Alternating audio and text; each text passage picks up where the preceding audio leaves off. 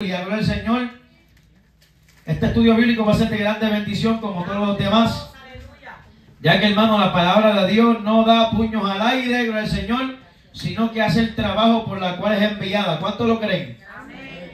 Amén, hermano. Vamos a la Biblia, a Mateo capítulo 5. Gloria al Señor. Aleluya, poderoso es el Señor. Mateo capítulo 5. Estaremos estudiando en esta noche bajo el tema cómo desarrollar un espíritu fuerte. Cómo desarrollar un espíritu fuerte. Aleluya. Poderoso es el Señor. Mateo capítulo 5. Gloria al Señor. Tú eres grande y poderoso Jesús. Cuando lo tengan me dicen un fuerte amén. Poderoso es el Señor. Leemos la palabra aleluya del Señor bajo la bendición del Padre, del Hijo y del Espíritu Santo. La iglesia dice, viendo la multitud, subió al monte y sentándose vinieron a él sus discípulos y abriendo su boca les enseñaba diciendo, bienaventurados los pobres en espíritu, porque de ellos es el reino de los cielos. Yo quiero leer ese versículo 3 en esta traducción, gloria al Señor, que se llama la traducción lenguaje actual. Y mire cómo dice, hermano. Dios bendice a los que confían totalmente en Él, pues ellos forman parte de su reino. Se puede sentar, hermano. Padre, gracias por esta bendición, Señor amado. A ti te doy la gloria porque solamente a ti te pertenece, Señor Jesús. Te pido, Señor amado, que tú tomes el control desde ahora y para siempre. Tuya es la gloria y como siempre digo, sin ti no lo puedo hacer. Gracias, Señor, tú eres grande y tuya es la gloria. Bien, hermano. ¿Cómo desarrollar un espíritu fuerte? Me llama la atención cómo el Señor empieza las bienaventuranzas de esta manera. Bienaventurados los pobres en espíritu, porque de ellos es el reino de los cielos. Y mira cómo dice la traducción lenguaje actual. Dios bendice a los que confían totalmente en Él, porque ellos forman parte de su reino. Mire esto, hermano. La palabra bienaventurado alude a un bienestar, a un gozo de aquellos que debido a su relación con Cristo y su palabra encuentran un lugar en el reino de los cielos. Los beneficios de pertenecer a tal reino incluyen constante amor, cuidado, presencia y salvación espiritual, que todos proceden de Dios. Escuche bien. Hay ciertos requisitos de carácter Gloria al Señor.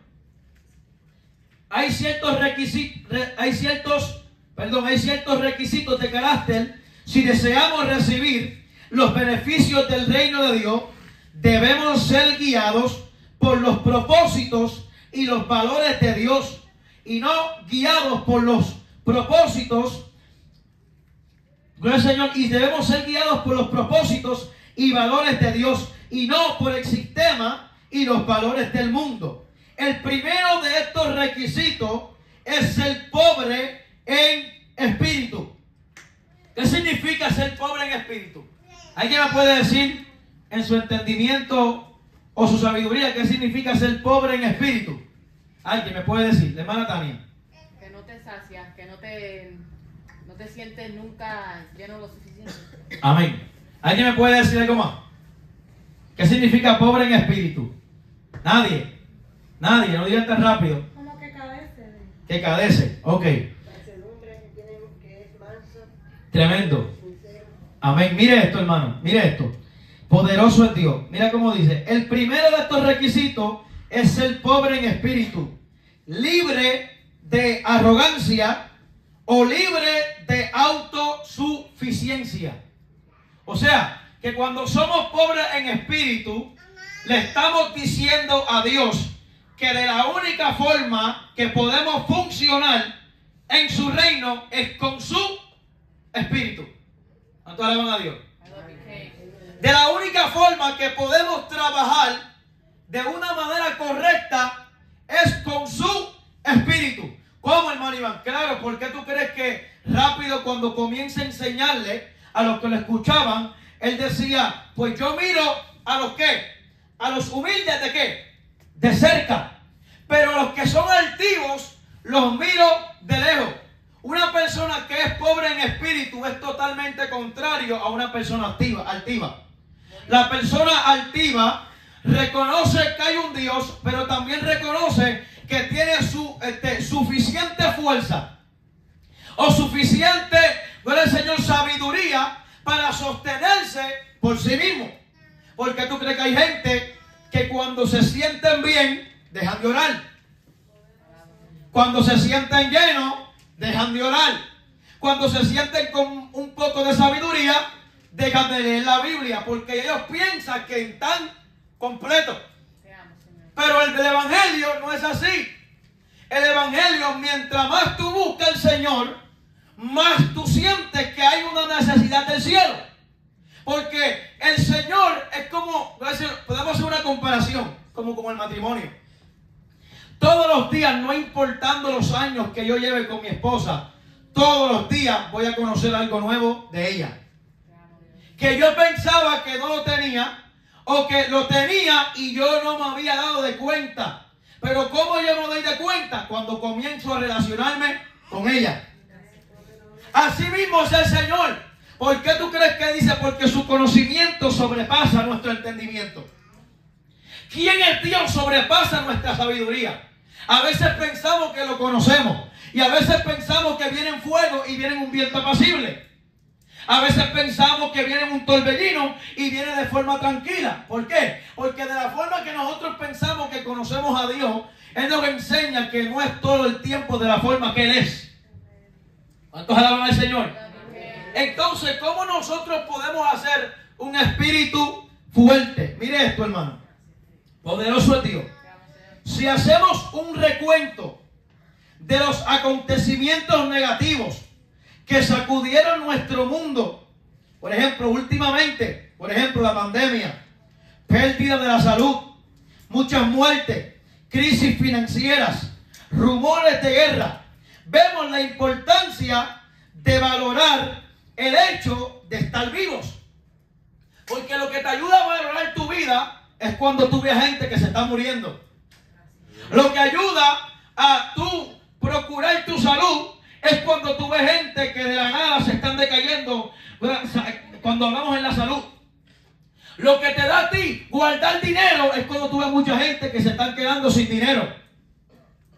¿Qué es lo que a veces tú dices? Oye, yo tengo que guardar porque a veces tú miras a gente que tiene más dinero que tú y hoy están padeciendo y tú comienzas a decir, wow, si este tenía más que yo y ahora mira cómo está, yo tengo que guardar.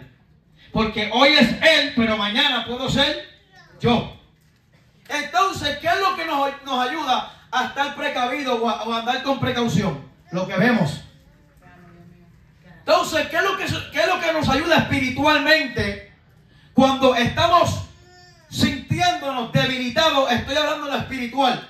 Cuando vemos a gente que buscaban a Dios, que predicaban tremendo, que oraban tremendo, pero de la noche a la mañana decayeron. ¿Por qué? Porque ellos pensaban que lo que ya habían hecho era suficiente para lo que venía mañana. Y eso es imposible. ¿Por qué tú crees que el Señor le puso en el Espíritu, ¿ves? a través de su Espíritu Santo el salmista, y digo, nueva cada mañana son sus misericordias? Todos los días había una, un motivo o un agradecimiento de entender que hoy Dios me está perdonando y hoy Dios está siendo misericordioso. No por lo que yo hice ayer, porque ya Él me perdonó por lo que yo hice ayer. Él me va a perdonar por lo que yo voy a hacer hoy. Alaban al Señor. Gloria a Dios. Por eso es que es importante, hermano, entender que cuando somos pobres de espíritu, es que entendemos y reconocemos que de la única forma que voy a amar es, es amando a Dios primero. ¿Por qué tú crees que Él subió y Dios le habló, el Señor, a Moisés? Y luego el Señor cuando llega, vuelve y Dios le habla. Y él dice, no lo vengo a abolir o a romper la ley de Moisés. Yo vengo a cumplirla. ¿Oíste todo lo que digo Moisés? Yo digo que todos estos mandamientos están resumidos en dos. Amarás a tu Dios con todo tu corazón, con toda tu mente, con toda tu alma. Y el segundo es semejante al primero. Amarás a tu prójimo como a ti mismo. ¿Qué estaba diciendo el Señor? Si tú no amas a Dios, al Padre, y tú no me amas a mí, es imposible de que tú funciones de la forma que yo funciono. De la única forma, hermano, el Señor, que te catalogan en un trabajo. Aleluya. De la única forma que te catalogan en un sitio donde tú trabajas es número uno porque tienes un tag que dice tu nombre y dice donde tú trabajas. Número dos, tienes un uniforme que dice donde tú trabajas y te caracteriza. Para nosotros parecernos a Él y tener de su fortaleza es necesario estudiar quién es Él. Tú no te enamoraste de tu esposo o de tu esposa solamente porque era lindo o era linda. Porque si ese fuera el caso, muchos no se hubieran casado. Porque no todos son lindos, a lo que él vive. Hay que hablar de realidad. Lo que pasa es que hay personas que físicamente no son muy bonitos, pero tienen un corazón hermoso. ¿Cuántos alaban a Dios?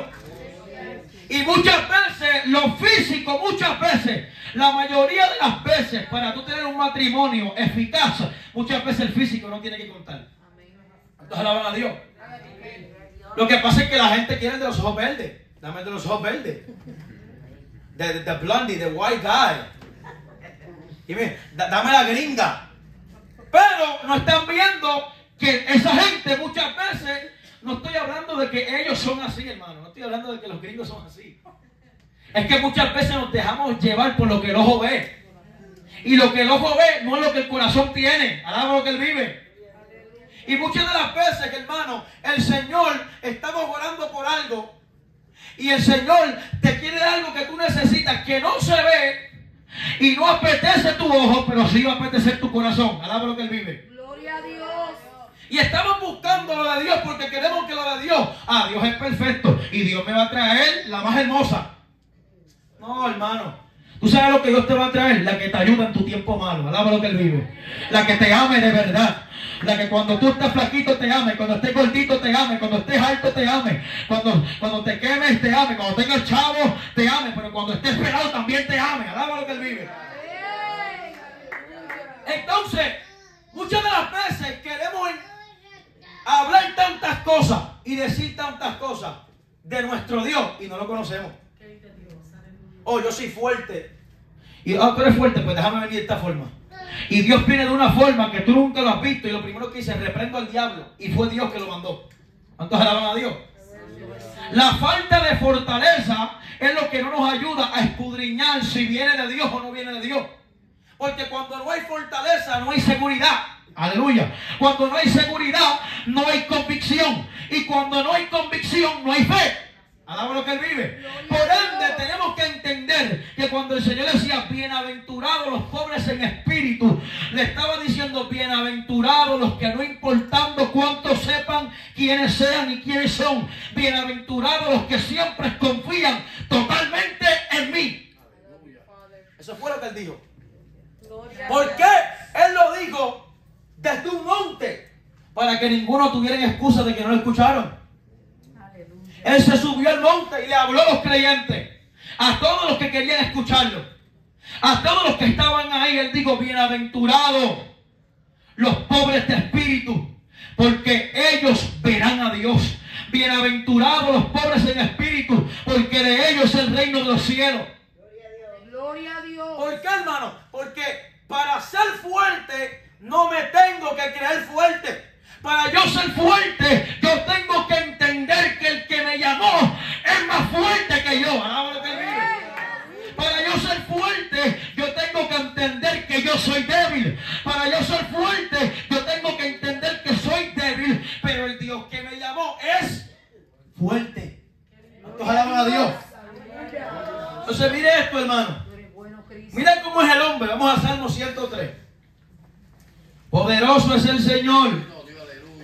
Si usted quiere, hermano, añadir algo, usted pueden hacerlo. Gloria a Dios. aleluya. Salmo 103. Aleluya, poderoso Dios.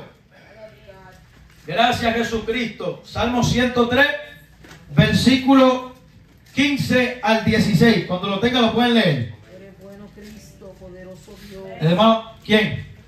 La hermana Anisa. El Salmo 103, versículo 15 y 16. Amén. Amén. El hombre como la hierba son sus días, florece como la flor del campo, que pasó el viento por ella y pereció, y su lugar no la conocerá más. Mira cómo dice hermano. El hombre como la hierba son sus días. Florece como la flor del campo que pasó el viento por ella y pereció. Y su lugar no la conocerá más. ¿Qué estaba diciendo? Gloria al Señor, aleluya, el salmista David. Él estaba diciendo que nosotros por costumbre somos inconstantes. Nosotros por costumbre, sin Dios, somos fácilmente engañados. Nosotros por costumbre, hoy queremos algo y mañana no lo queremos. Ese es el hombre. El hombre naturalmente sin Dios, el hombre nunca va a poder llegar a hacer nada, aunque parezca que está haciendo algo. Porque así es el hombre. Hoy lo ves, pero mañana no. Hoy lo sientes, pero mañana no. Hoy tú lo ves progresando, pero mañana se para. ¿Por qué? Porque el hombre sin Dios es inconstante en todos sus caminos. Poderoso es Dios. Mire esto. Sin embargo, por eso es que me gusta el personaje de Jesucristo, porque ¿qué seríamos nosotros sin Él?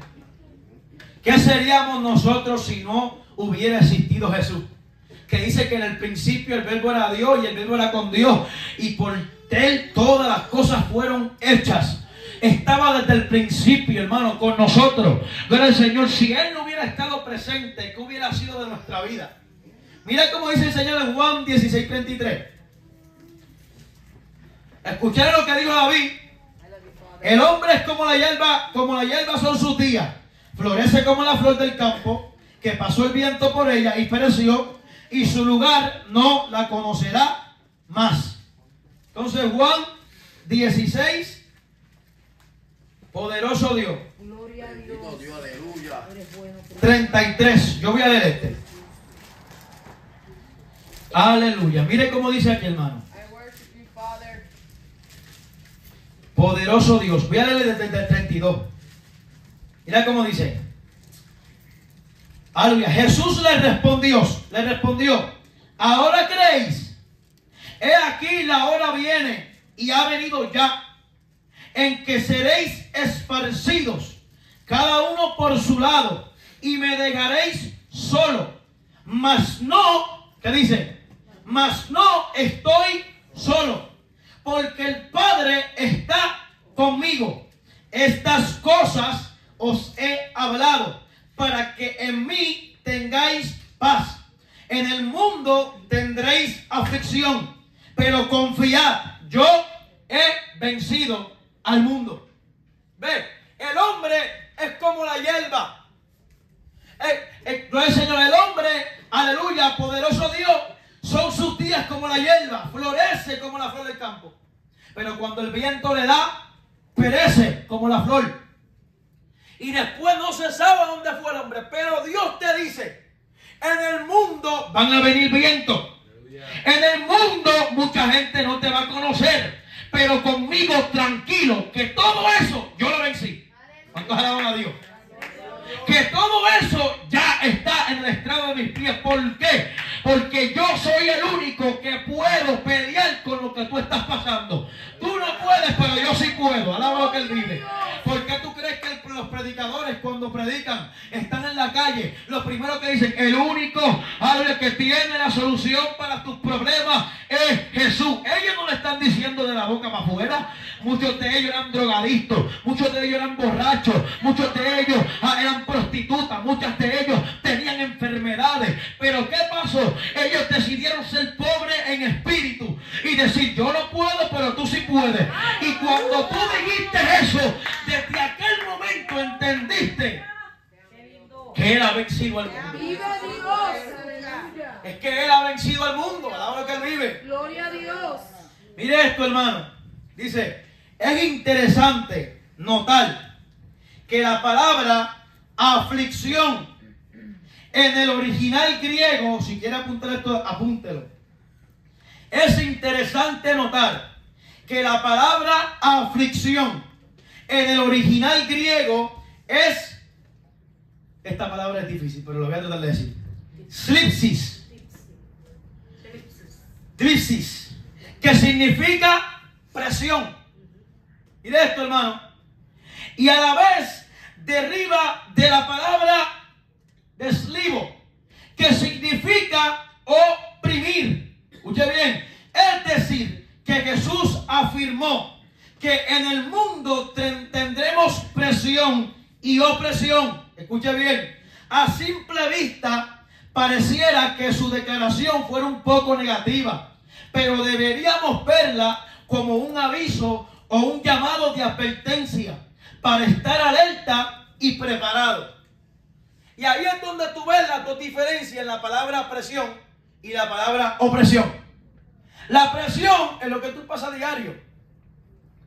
¿A quién no le da hambre? Cuando tienes hambre sientes una presión en el estómago y en todos lados. Que hasta de mal humor te pone. ¿Cuántos alaban a Dios?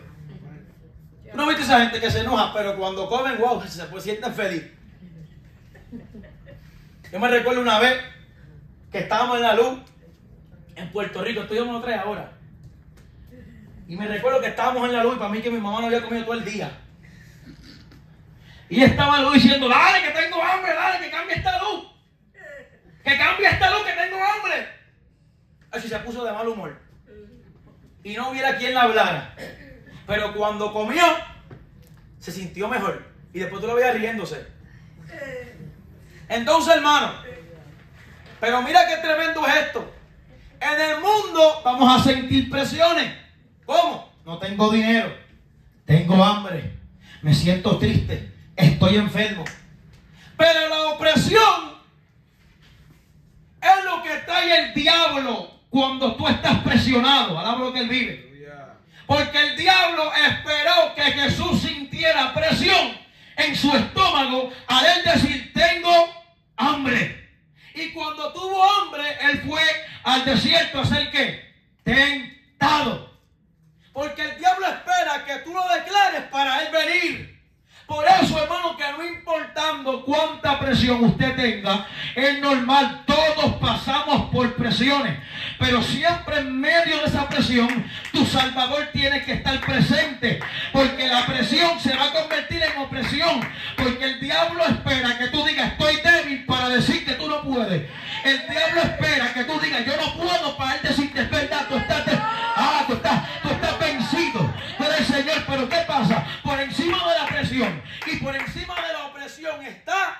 el Señor. Ese es nuestro Salvador que dijo, venid a mí, los trabajados y cansados, que yo Jehová, yo Jesús, los haré descansar. Aleluya. En otras palabras, lo que nos hace fuerte no es creer que estamos fuertes. Lo que nos hace fuerte no es hablar de que oramos, no es hablar de que leemos Biblia, no es andar más derecho que una varilla para que piense que tienes postura. Eso no es, eso no me dice que tú eres fuerte. Santo Jesús.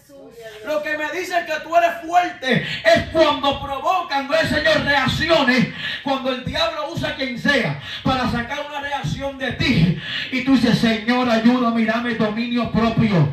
Porque ya no, me- ya no me mando yo. Yo no soy el que me ciño. Ahora tú me ciñes. Ya yo no soy el fuerte. Ya yo no peleo con los puños. Yo peleo con la oración. Alaba lo que Él vive. Y para eso tenemos que ser pobres en el espíritu. Tú no ves a esa gente que dice, yo busco a Dios, pero el que se ponga conmigo es... Bueno, Va a conocer quién era yo.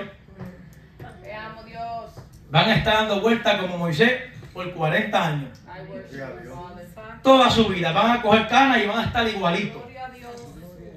Porque ellos piensan... No, la cuestión es que mira que es lo más tremendo. Es que esto... Yo no sé en qué versículo ya lo encontraron, pero lo encontraron parece. Santo Jesús. Que dicen, ¡ah! Yo no entiendo por qué a veces yo soy tan fuerte. Es que yo pienso que Dios lo va a utilizar. Lo que Dios va a utilizar es tu carácter, no es tu actitud. ¿Cuántos alaban a Dios? Porque tu actitud es carnal. Alaba lo que él vive. Y eso no viene del Espíritu. Lo que Dios puso es esa valentía que mucha gente tiene, es la autoridad que mucha gente tiene. Pero tú no puedes decirme a mí que Dios va a cambiar algo carnal y lo va a poner espiritual. No, lo de Dios siempre ha sido espiritual desde el principio. Dios es espíritu y es espíritu. Dios no va a coger algo carnal y le va a decir, ah, me voy a meter en lo carnal. No, Dios se mete en lo espiritual. ¿Cuántos alaban a Dios? Dios. Gracias, Jesús. Dios se mete en lo espiritual. Cuando tú comienzas a buscarlo, ahí Dios se mete. Pero Dios no va a permitir que tú lleves una vida, toda tu vida carnal. Y no querer cambiar. Y tú vas a decirme a mí, ah, Dios me está usando, aunque sea un carnal. No, hermano, no. No, tenemos que coger cabeza. Queremos coger a Dios y poner nuestra forma. No, hermano, no. Dios utiliza muchas de nuestras virtudes. Porque la misma Biblia dice, hermano, que hay impíos que hacen obras de justo. Hay gente que tienen cosas buenas aún estando en el mundo. Hay gente amable. ¿Ves? Hay gente que no son malcriados en el mundo. Porque sus padres le enseñaron valores. Porque muchos de ellos tenían principios bíblicos que aunque no les iban a Dios, le enseñaron. Pero eso no significa, ¿ves, Señor? Aleluya, que vas a ser salvo. No son obras. Las obras no te salvan, las obras solamente te identifican. Alaba lo que él vive. Entonces, ¿qué pasa, hermano? Pero muchos de nosotros creemos que el yo soy malcriado y el yo abro la boca a todo el mundo, eso yo lo voy a utilizar. No, hermano. No. Dios no trabaja de esa forma. Porque tú crees que lo primero que digo fue una de las primeras palabras que digo, ser manso y humilde de corazón como yo lo soy. Ser manso y humilde de corazón como yo lo soy. Porque él sabía que el que, hermano, se creía que tenía. Tú no ves a gente que en su hablar te lo dicen. Una cosa es ser una persona llena de fe y perseverante. Una cosa es tú siempre hablar más de ti que hablar de Cristo. ¿Cómo la gente me dice que le hace falta una búsqueda con Dios? Cuando tú hablas con ellos y lo primero que se hagan, sí, pero yo pienso, sí, pero yo estaba, sí, pero yo hacía, sí, pero yo esto, sí, pero yo sé esto, sí, pero háblame de Cristo, porque tú no sabías nada, Él fue el que lo puso en ti, alaba lo que Él vive. Hay gente que habla y que habla y tú nunca los escuchas diciendo, para la gloria de Dios, nunca los escuchas. Gloria a Dios. Aleluya. Gracias. Entonces tu fortaleza, esas no son fortalezas de las que queremos hablar en esta noche. Lo que tú me estás diciendo es lo que tú puedes hacer, pero hay cosas que van a llegar a un límite que tú no lo vas a poder hacer. Y ahí es donde tu espíritu se pone fuerte. ¿Por qué? Porque acá, de allá arriba nunca falla una, alaba lo que él vive. Nosotros podemos ser fuertes por un largo tiempo, pero va a llegar un momento donde no vas a ser más fuerte. ¿Y para dónde vas a mirar? Aleluya. Ah, me imagino yo, hermano, cuando el hombre dijo, ¿a dónde iremos? ¿A dónde iremos? Me imagino a este hombre pensando, buscando otra cosa que sea mejor que Cristo. ¿A dónde iremos? Déjame ver si, mi carro es mejor. No. Déjame ver si el dinero es mejor. No. Déjame ver si la es mejor. No. ¿A dónde iremos? Si solo en ti está la vida eterna. ¿A dónde vamos a ir? Si solo en ti está la verdad. ¿Cuántos alabamos al Señor? Santo Jesús. Hermano, tenemos que aprender y de una vez por todas ser lo suficientemente maduro para decir, yo sin Él no lo puedo hacer. Yo sin Él no sé. ¿Cuántos alaban a Dios? Aún los más que estudiaron, por más lindo que hablen, sin Él no lo puedes hacer. Porque el que te dio la inteligencia y la sabiduría fue el que creó la sabiduría. ¿Cuántos alaban a Dios? Por eso es que a mí me gusta, hermano. Cuando gente que nunca sabía nada. Cuando gente, hermano, que no, aleluya, poderoso Dios, sabía nada, ni estudiaba nada, ni sabía leer, ni sabía escribir, y Dios lo levanta y le enseña. Eso a mí me gusta. Porque ahí tú ves completamente que fue Dios. Aleluya. Poderoso es Dios. Y no te estoy diciendo que la gente que sepa y la gente que estudie, gloria a Dios por esa gente, no estoy diciendo que está mal. Pero lo que estoy diciendo es que muchas veces a Dios se le hace trabajar, se le hace más duro trabajar con esa gente. Porque ya ellos tienen la famosa frase, yo sé. Y como ellos saben, Dios no puede entrar. Y solamente, hermano, los grandes hombres de Dios fueron las personas que dependieron totalmente en Dios. Lo que te hace fuerte no son tus virtudes, aunque son buenas. No son las obras que tú hagas, no son las palabras que tú digas, aunque estén bien dichas. Lo que te hace fuerte es que tú siempre demuestres y enseñes con tu fruto que tú estás de pie porque Él te mantiene mantenido de pie. Que tú estás de pie porque su gracia te ha mantenido de pie. Aleluya, que tú estás de pie, que tú puedes hablar de amor porque su amor se metió dentro de ti. Ve, hay una diferencia cuando la gente habla por saber a cuando la gente habla por vivencia. ¿Cuántos alaban a Dios? Poderoso es Dios. Mire esto, hermano, mire esto.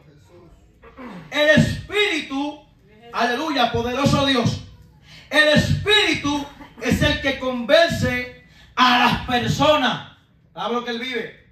¿Por qué tú crees que si mi mente no es infiel, uno de los discípulos, si mi mente no es infiel? Aleluya, digo, Padre, convence a esta gente de pecado. Que tu Espíritu los convenza de pecado. Porque es que es imposible nosotros por nuestra propia fuerza, con nuestra propia sabiduría, convencer a la gente. Aquí puede venir, hermano, el teólogo, aquí puede venirte Lucas a predicar. Que en el, prim- en el capítulo número uno digo, hallé todas las palabras perfectas para dárselas al teólogo, para que el, teo, para que el teófilo las reciba con palabras de verdad. Puede venirte Lucas con el mejor mensaje, con denuedo, con elocuencia, con hermenéutica, con homilética. Pero si no tiene Espíritu Santo, no sirve. Porque el que convence y el que cambia al hombre no son mis palabras. Es el que me manda a hablar. Es el que me larguye. Es el que me dice escudriña. Ese es el que cambia tu corazón. Ese es el que cambia tu vida. Por eso es que la relación, tú creces que en Dios, no conversando conmigo. Yo te puedo dar un consejo. Pero tú vas a cambiar cuando tú comiences a conversar con Dios. La gente siempre quiere que yo les escriba o que yo siempre quiero que tú me escribas y no está malo. Vamos a escribirnos. Pero de qué vale que todo el tiempo nos escribamos y nunca hablemos con Dios. Dime que eso, qué cambio va a hacer en ti. Vive Dios. Aleluya. Tú siempre estás buscando de que suceda algo, de que yo te diga algo, de que algo bueno suceda de parte mía o yo o que yo reciba algo bueno de parte tuya. Pero si no hablamos con Dios, dime que eso va a ser. Aquí el Salvador es el que nos conoce. Dice que su palabra penetra y escudriña nuestros pensamientos y nuestro corazón. Él sabe lo que nos agobia. Él sabe lo que nos molesta. Muchas veces queremos decirle a todo el mundo lo que me molesta. Díselo a Dios. Si algo te molesta, díselo al Señor. Él va a pelear por eso. Si es algo que va a causar su justicia, Él lo va a hacer. Si es algo que va a ser de beneficio para la obra, Él va a pelear por eso. El problema es que estamos pidiéndole al hombre que nos dé algo que el hombre no nos puede dar. Solamente el Dios, nuestro Salvador, es el único que nos puede dar lo que nosotros verdaderamente necesitamos. A, su nombre. Mire esto, hermano. Existe la gran diferencia, quiero decirlo otra vez, entre la presión y la opresión. La primera es la fuerza, aleluya, de las circunstancias naturales negativas contra nosotros. La segunda, lo que te estaba diciendo, es el aprovechamiento del enemigo de esas fuerzas naturales negativas para oprimir al creyente en Cristo.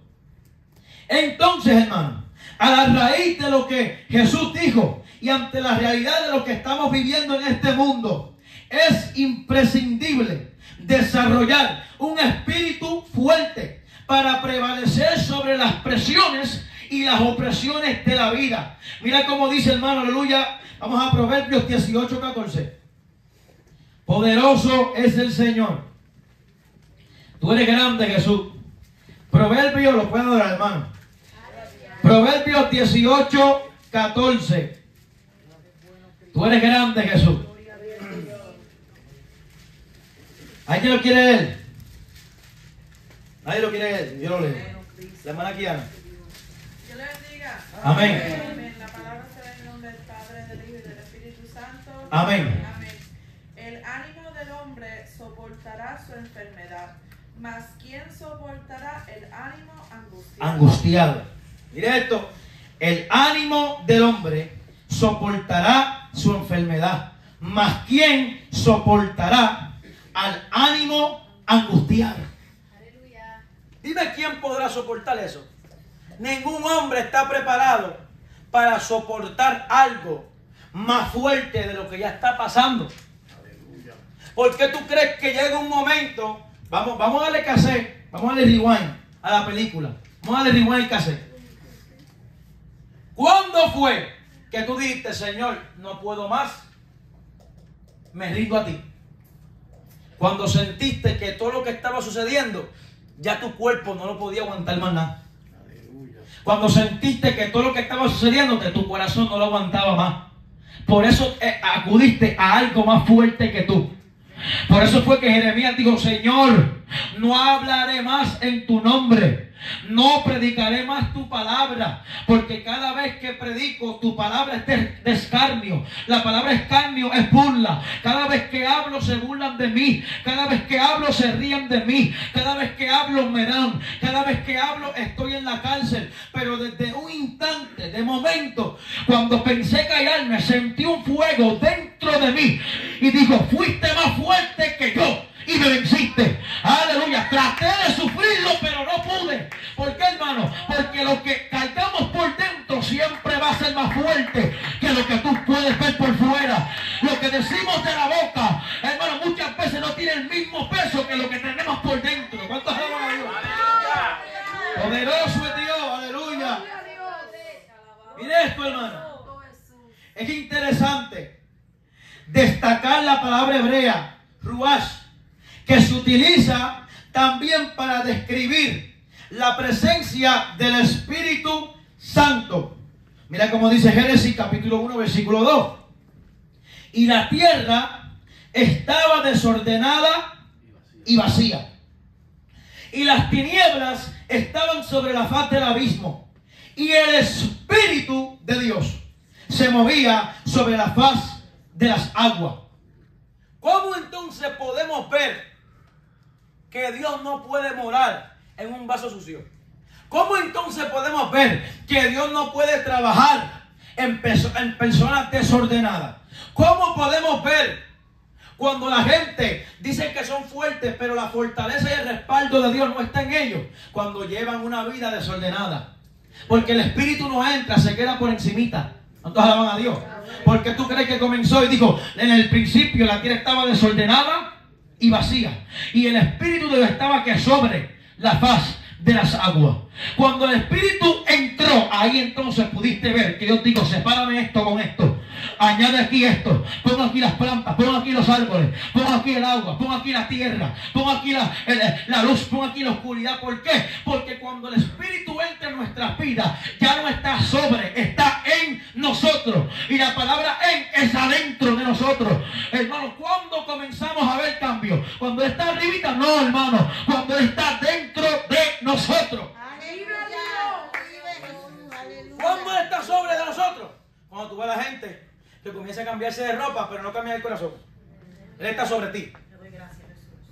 Porque tú quieres cambiar para Él una apariencia que lo ven los hombres. Pero solamente el de corazón limpio de mano y puro de corazón son los que ve Dios. Son los que pueden subir al monte de Jehová. ¿Cuántos alaban al Señor? Por eso es, hermano, que muchas veces tenemos que entender algo. Que hasta que no vivamos una vida ordenada, el Espíritu Santo no va a poder entrar. Esto es lo que yo quiero que ustedes entiendan. El Espíritu Santo no es una energía. El Espíritu Santo, hermano, es una persona.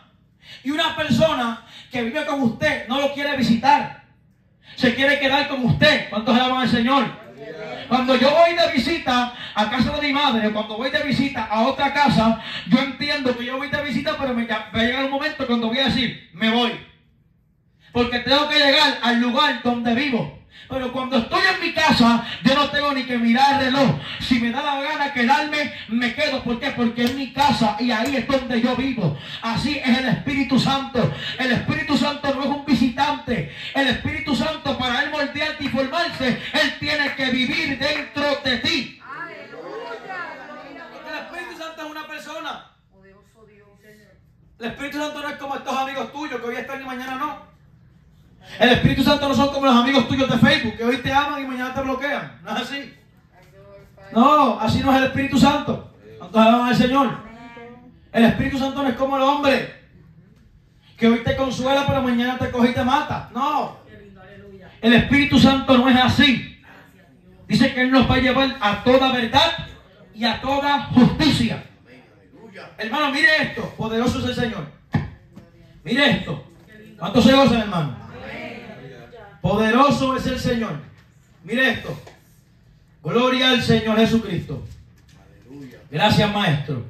Dice, el primero de estos requisitos, que fue lo que leí ahorita, es los pobres en espíritu.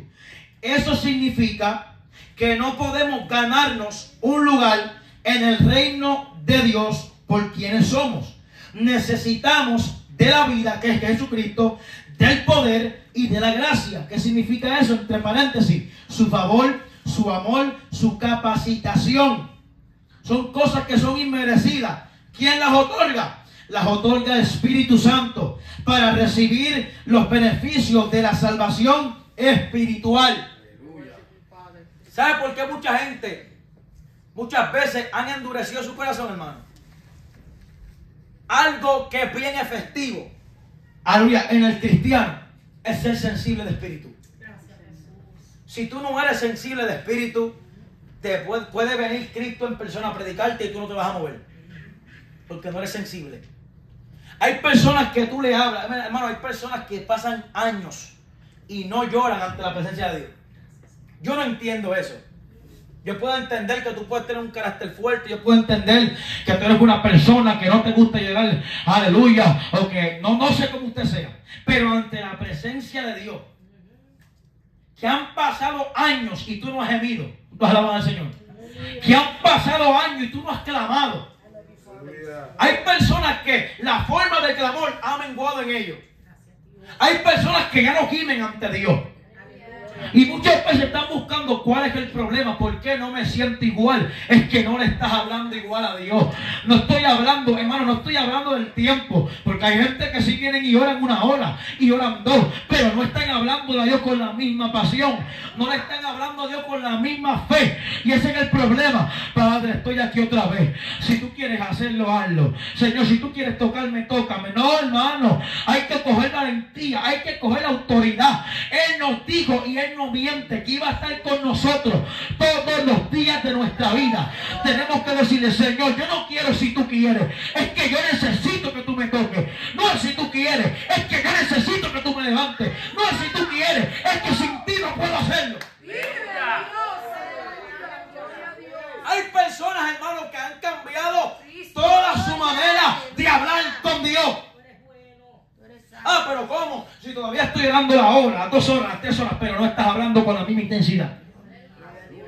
Porque de qué vale que yo me siente con mi esposa a conversar con ella cuatro horas y solamente decir, ajá, sí, ok, sí, ajá, ok, sí. ¿A dónde vamos a llegar? Puedo estar cinco horas diciendo sí, ajá, ok.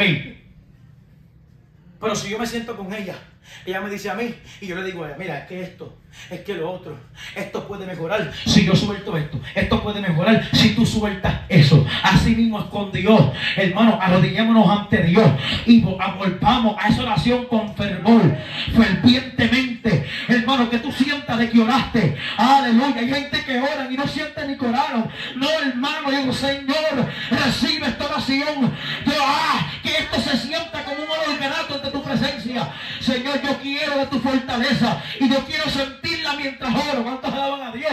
Pero ya la gente no pide eso. Tú lo ves, Señor, te pido que por favor mañana me ayude.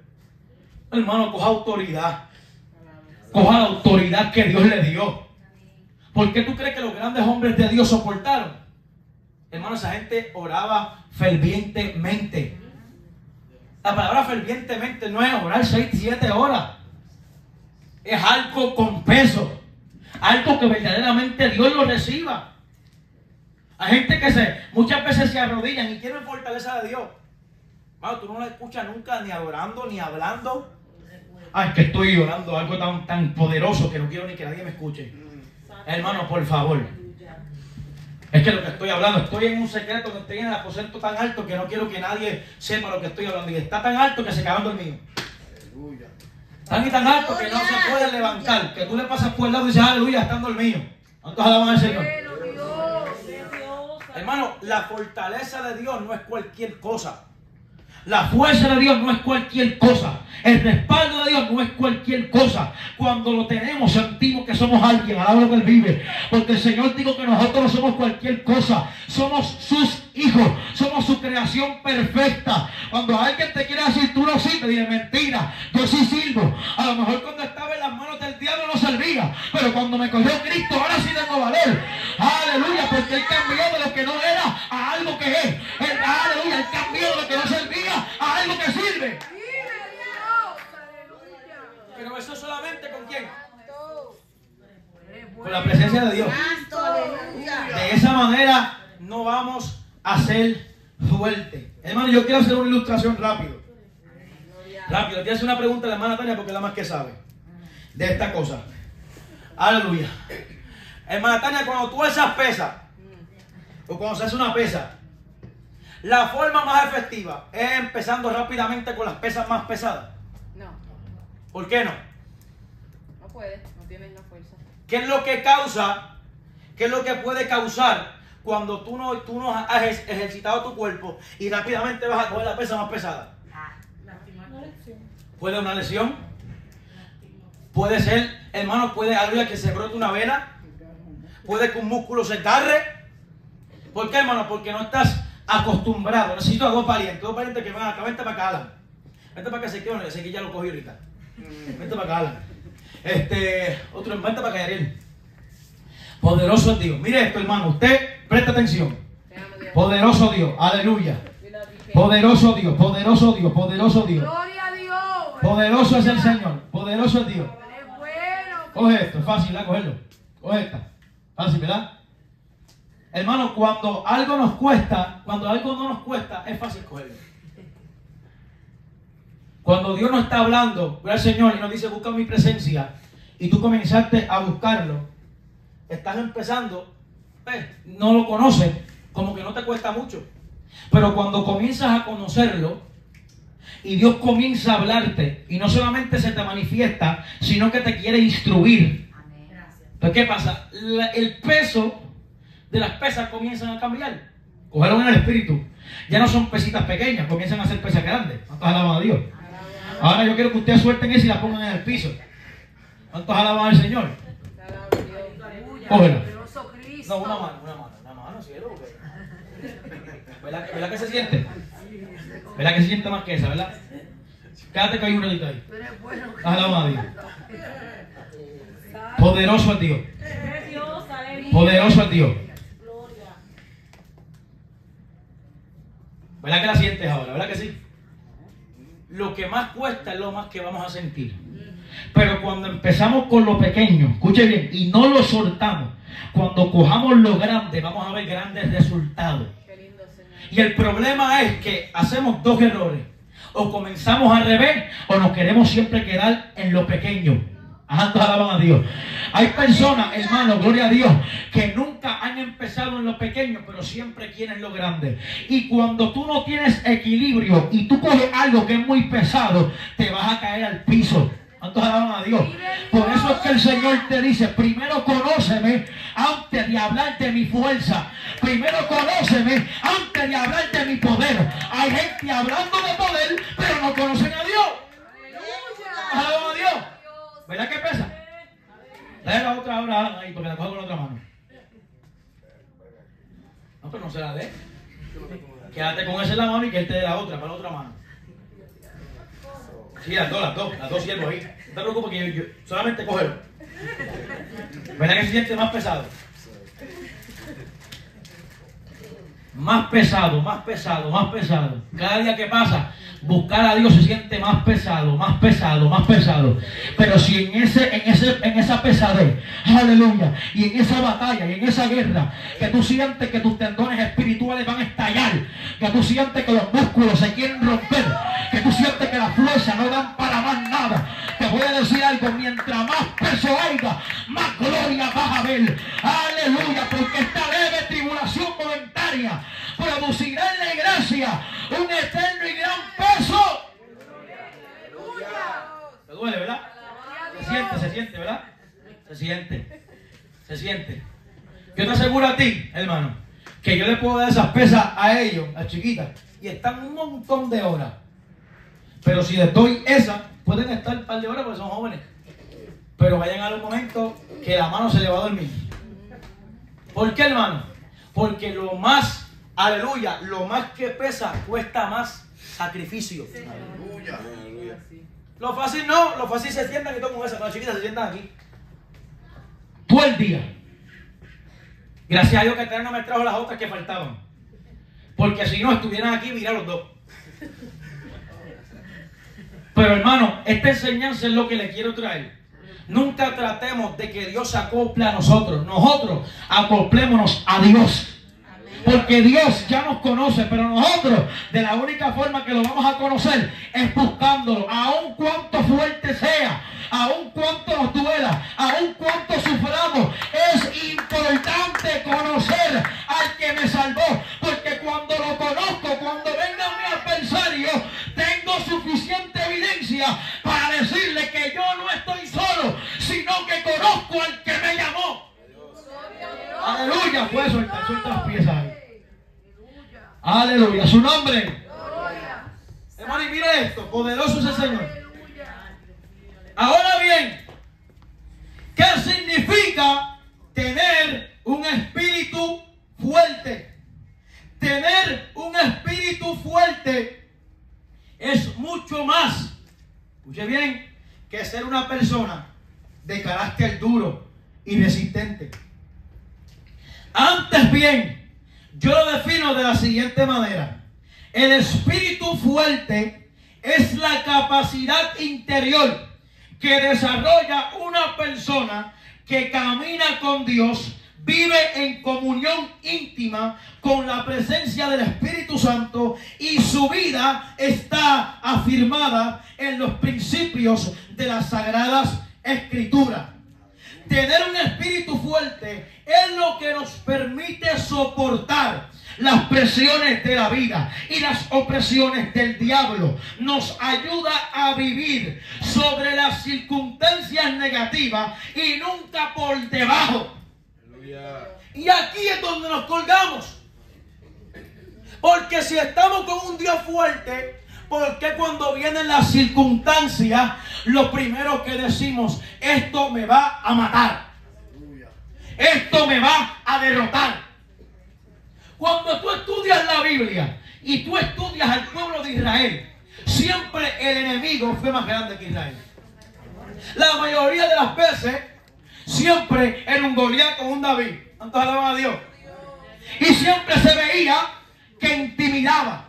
Pero ¿qué era lo que separaba al pueblo de Israel de sus enemigos? Que ellos tenían algo que el enemigo no tenía. ¿Cuántos alaban a Dios?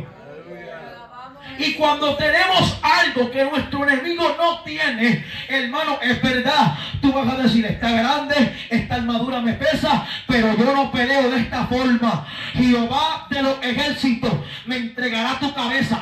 Hay que decirle esto al diablo. Yo no puedo solo, pero el que me llamó sí puede. Yo no soy fuerte, pero el que me llamó sí es fuerte.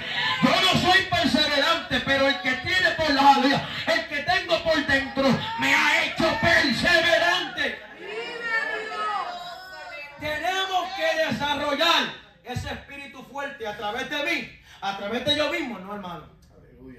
Tenemos que tener esa total confianza en Dios. Hermano, cuando Pedro y Juan estaban ante el concilio, dice hermano la palabra, que eran hombres de qué? Del burgo, que eran hombres sin letra.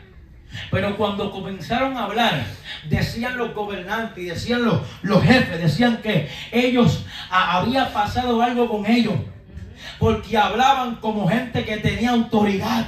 Y ellos sabían que era gente del burgo, que no sabían hablar. Eso es lo que distingue a una persona de espíritu fuerte. Aleluya. Una persona de espíritu fuerte no es la que grita mucho. Una persona de espíritu fuerte no es la que siempre se quiere dejar ver. Una persona de espíritu fuerte es que cuando las pruebas vengan no esté debajo de las pruebas. Es que tú puedas decir, esta prueba eh, podrá ser fuerte, pero no es más grande que mi Dios. Esta prueba podrá dolerme, pero no es más fuerte que mi Dios. Esto me va a doler por un momento, pero Dios no me va a dejar solo. Poderoso es Dios. Tú eres grande, Jesucristo. Entonces, ¿cómo podemos mantenernos con ese espíritu fuerte? fuerte? Necesi- necesitamos firmeza y estabilidad. Aleluya. Una de las cosas que hace el ejercicio corporal, cuando tú comienzas a alzar pesa, ¿qué es lo que hace? Que te da equilibrio, que te da balance. Pones tus pies fuertes y puedes caminar de una manera más equilibrada. Alaban a Dios. Gloria a tu nombre. ¿Cómo vamos a obtener firmeza? ¿Y cómo vamos a obtener equilibrio? Hermano, las herramientas ya Dios, no- ya Dios te las dio. Tú las conoces. Lo que pasa es que tú estás esperando algo nuevo y no lo hay. Gracias. Dios trabaja de la misma forma. ¿Cuántos alaban a Dios? Dios nunca se va a comprar a ti, tú tienes que comprarte a Dios. Alaba lo que Él vive. Dios nunca va a hacer lo que tú digas. Dios siempre va a hacer lo que, lo que Él piensa que es mejor para ti. Poderoso es Dios. Mire esto, hermano. Firmeza y estabilidad ante los ataques del enemigo, los problemas y los desafíos de la vida. Número dos, tenemos que tener valentía espiritual que otorga qué? Autoridad para soportar, prevalecer y triunfar sobre las presiones y opresiones. Ante todo, debemos saber que desarrollar un espíritu fuerte solo es posible, aleluya, si tenemos a Dios como la fuerza principal de nuestra vida. Aleluya. Si solamente tenemos a Dios como la fuerza principal de nuestra vida. Vamos a Salmo 84.5. Ya estamos terminando, hermano. Salmos 84.5. Poderoso es Dios. Tú eres poderoso, Jesucristo. Te doy la gloria, Jesús. Amén. Mire esto, hermano. Poderoso Dios. Léelo, hermano Tony. 84.5. Tú eres bueno, Cristo. Amén. Bienaventurado el hombre que tiene en ti sus, Sus fuerzas. en cuyo corazón están sus tus caminos. caminos. Mire esto, hermano.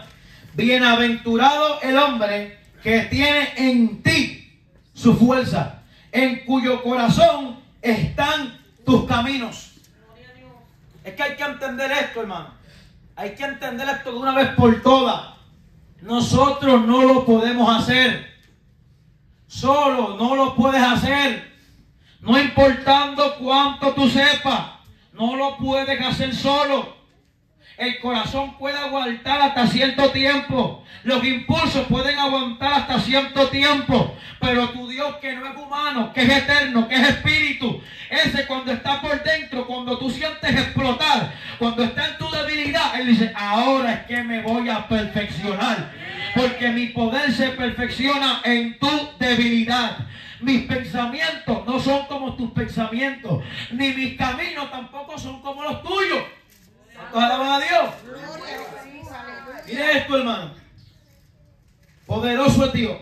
En la comunión íntima con el Señor existe lo que yo denomino una transferencia de poder que fluye del Señor hacia el creyente. Poderoso el Señor. Y mira que como dice Isaías 40, del 29 y 31. Él dice, Él, la palabra está en mayúscula, que significa el Señor. Dice, Él da esfuerzo al cansado. Y Él multiplica la fuerza de aquel que no tiene ninguna. Para que tú veas, cuando tú dices, no tengo más fuerza, Él te las multiplica. ¿O usted cree que usted, cuando digo no puedo, usted se levantó porque que usted es Iván y usted es Tania y usted es Norma y usted Gadir y se levantó porque es usted? No, hermano, es que si Él está en nuestro interior, cuando no podemos, Dios es el único que puede multiplicar cuando nosotros decimos cero. Dios es el único que puede sumar cuando nosotros decimos no podemos. Ah, Dios, por eso Él dice que Él le da fuerzas al que no tiene ninguna. Pero los que esperan en Jehová tendrán nueva fuerza. Levantarán alas como las águilas. Correrán y no se cansarán. Va a llegar un momento, hermano, que vas a depender tanto de Dios que no importando lo que suceda, aunque te haga llorar, aunque te haga sufrir, aunque sientas soltarlo, siempre tú vas a mirar a Dios por encima de lo que está sucediendo. Y ahí es donde yo los quiero llevar. No te estoy diciendo que cuando te hagas fuerte se te van a acabar los problemas. No siempre lo vas a tener. Lo que te estoy diciendo es que cuando somos sumamente fuertes en el Señor, lo que venga siempre va a estar por debajo de Él. No importa qué tan fuerte sea, siempre vamos a decir, el problema está fuerte, voy a llorar, pero mi Dios está por encima del problema. Mi Dios puede solucionar el problema. Esta enfermedad me está doliendo los huesos, me está doliendo la espalda, me están doliendo los pies, me está quitando la fuerza de mi cuerpo, pero si espero en Jehová, voy a correr y no me voy a cansar. Él me va, aleluya, levantaré las alas como las águilas y en las alturas Él me hará andar. Dice junto a aguas de reposo. Confortará mi alma. Vive Dios, aleluya. Está entre ese Salmo 23, la gente no lo cree.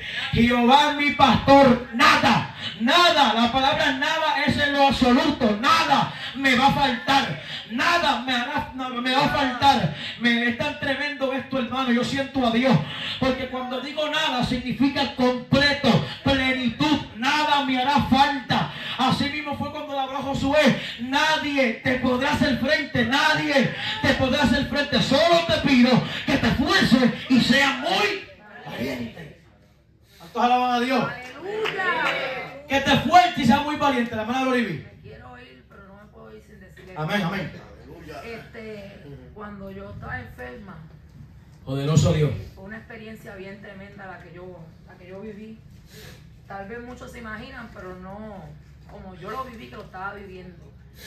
Y todo lo que estás hablando me acuerda de ese momento. Y lo más que me acuerda fue que yo llamé a una hermanita de la iglesia, la tía de mi esposo. Le pagamos pasaje, le pagamos todo para que llegara a la casa, porque yo tenía miedo de estar en mi casa. Yo, yo, yo si le hablo claro, el enemigo me había engañado en aquel momento. Me sentía sin las fuerzas de Dios, me sentía sin nada. Y aún mandándola a buscar a ella a mi casa y orando en mi casa y atando y reprendiendo, qué sé yo, todas las cosas que ella pudo haber hecho, yo no pude sentir esa liberación que yo en aquel momento necesitaba.